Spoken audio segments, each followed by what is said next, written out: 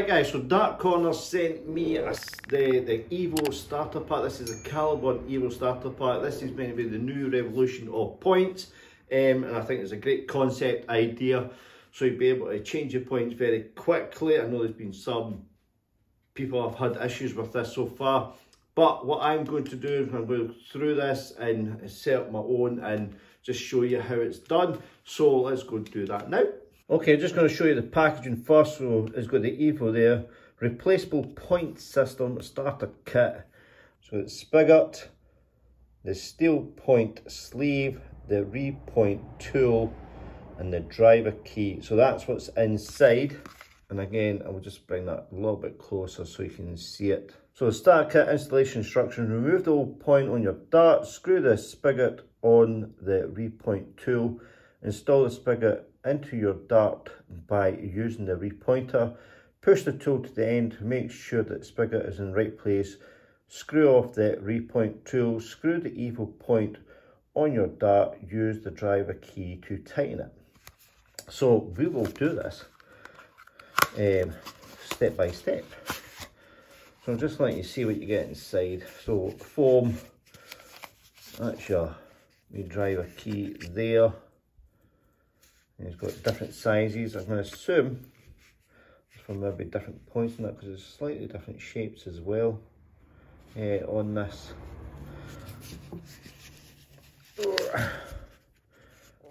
You've got your little sleeve there as well and I've got the three points. So that's them there. Okay, so the darts I will be using to repoint are my custom darts. So that's my custom darts there. Uh, so what I'll do is I need to get my, my tools, my repointer tool, which I have here. So I'll get this out.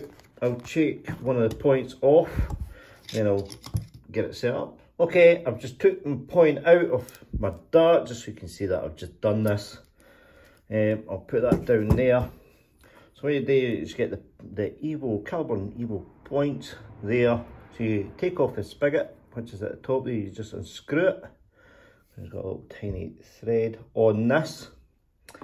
Then you get the, the sleeve. So you've got the sleeve there that you just screw it into. So you screw that in. Just be careful. It's very small. Don't want to lose that at all. And get your repointer tool, slide it in. You want it to line up to the bolt area. Just tighten that off. Keep that in line. You want it to be flush to that. Now tighten that up.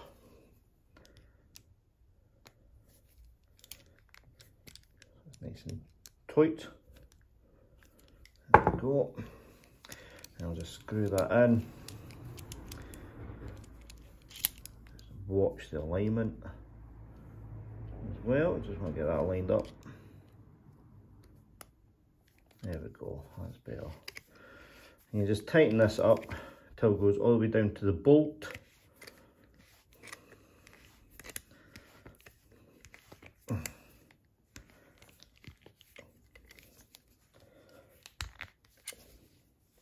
Far down as it will let you. Oh, and that's as far as it will let me go. Right, so loosen this off. Do, do, do,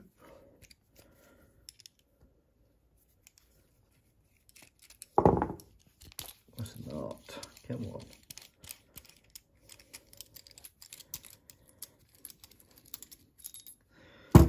then what you do is you get the, the driver tool and I'm going to assume it's that one there that goes with the bolt. Just push that in. The hole goes round it and unscrew it. Oh, I can't unscrew it. And you like that. Was a little bit tight there. Right! Oh, that was a little bit tight. I had to put some force into that. Uh, but you can see the spigot just inside there.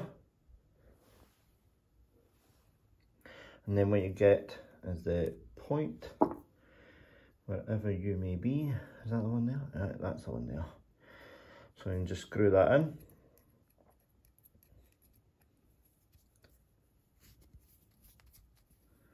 Can get the tool, driver tool again, and it'll be the middle one. Just going by the shape of that there. And just tighten it slightly. Know if you can see that properly. Sticking out a little bit because I couldn't get the, the bolt all the way down, I think. Just maybe the, the how deep it's been cut in my, my darts. Uh, that'll be the issue. Right, so I'll get the other two set up and uh, I'll show you the end result. So unfortunately, doing my last start, I snapped the repoint tool uh, it's holding the spigot in because it was just so tight in that I was struggling to get it out. Uh, unscrew it, it's still there, but it's really solid in. And I don't know, it just snapped uh, from that side. Um, but yeah, oh God, um, I'll get a pair of pliers and be able to take that out. But I should be able to still put the point in, hopefully. So, wish me luck. Right, so I managed to get it out. It took a, quite a fair bit of force, unfortunately. That was just solid in. Um, it was really hard to take this bit out, this part out. Really stuck in my barrel. I actually had to use that. A set of rubber gloves because I started shredding my fingers and trying to get this little segment out. But I finally did. I've got the darts all fully set up there. So that's the same with the new points. So thankfully I never damaged the spigot uh, inside it and they're pretty straight. So we'll have a few throws and see what they're like on the board. Right, we'll just see how they go. Well, I know how these go, but slightly bigger points than what I'm used to throwing with these darts.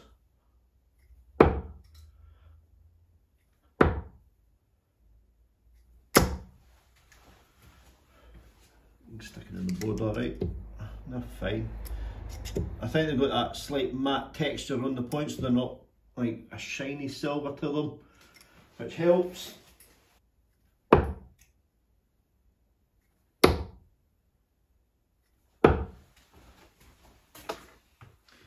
I'll be curious to see how these go when they hit concrete as well. Uh, see how durable they are. Ah.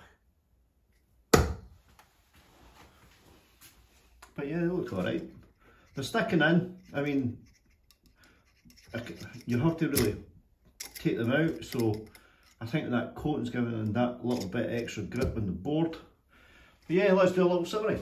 Right, so the Caliburn Evo starter kit tool to repoint your darts.